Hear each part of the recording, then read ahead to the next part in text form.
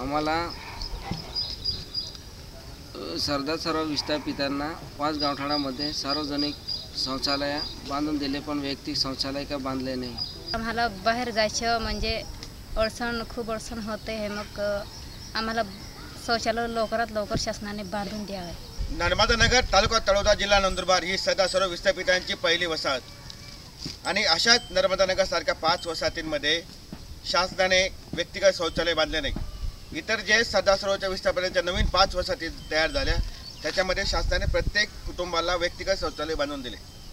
आणि जुन्या पाच वसाहतींमध्ये व्यक्तिगत शौचालय बांधले नाही. त्याच्यामुळे आमच्या समुदायाला शौचासाठी बाहेर जावं लागतं. नाही दुसऱ्या नवीन वसाहतींमध्ये व्यक्तिगत शौचालय बांधले? बांधले. बाकी ठिकाणी बांधले बाकी ठिकाणी नाही. तुमच्या वसाहतींमध्ये नाही? नाही आमच्या वर्षामध्ये नाही. मग तुम्ही मागणी केली का? अर्ज केला होता? अर्ज केला होता. आम्ही दोन हजार चौदामध्ये अर्ज केला होता. पण आजपर्यंत आम्हाला काहीच मंजूर केलं नाही प संडास बांधून दिली नाही. असे आमचे कुटुंब चारशे पन्नास कुटुंब आहेत. त्याच्यापैकी व्यक्तिगत किती जणांनी बांधले असेल? खाजगी पैशाने? बांधले असेल तर तीस चाळीस लोकांनी बांधले असेल.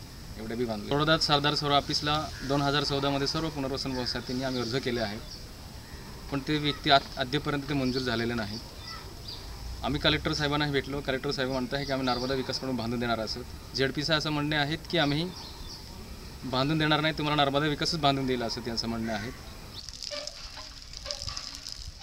माझ्या समुदायाचा हा व्हिडिओ मी मान्य जिल्हाधिकारी नंदुरबार यांना दाखवणार आहे. व लेखी पत्र देऊन समुदायाचे प्रश्न सोडविणार आहे. त्याच प्रकारे आपणही फोन करावा व माझ्या समुदायाचे प्रश्न सोडविण्यास मदत करेल. मान्य जिल्हाधिकारी नंदुरबार यांचा फोन नंबर आहे झिरो पंचवीस चौसष्ट दोनशे एकवीस झिरो झिरो एक.